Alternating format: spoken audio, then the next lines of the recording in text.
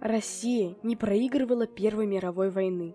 Она просто не дожила до победы, уничтоженная внутренней смутой. Но это нисколько не умаляет роли России и русского фронта в этой войне. Наша страна была ключевым участником Антанты, и несмотря на выход из войны, Россия нанесла армиям германского блока наибольший урон в живой силе и технике. Боевой вклад России больше любого из союзников по Антанте, взятых в отдельности, и вполне сопоставим со вкладом Англии, Франции и Италии вместе взятых.